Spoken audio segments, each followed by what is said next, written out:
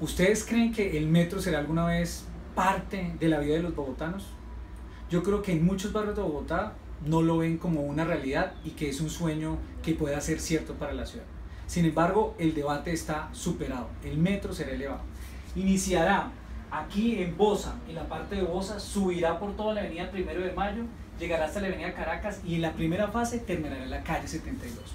Si a eso le sumamos que estará unido a tres troncales de Transmilenio por la avenida Ciudad de Cali, por la avenida 68 y por la avenida Boyacá, este metro con ese sistema podrá mover un millón de pasajeros día y eso significará que en el año 2022 una estación de Transmilenio Metro estará a máximo un kilómetro de distancia de nuestra casa y solo tendremos que hacer un transbordo para llegar a cualquier parte de la ciudad.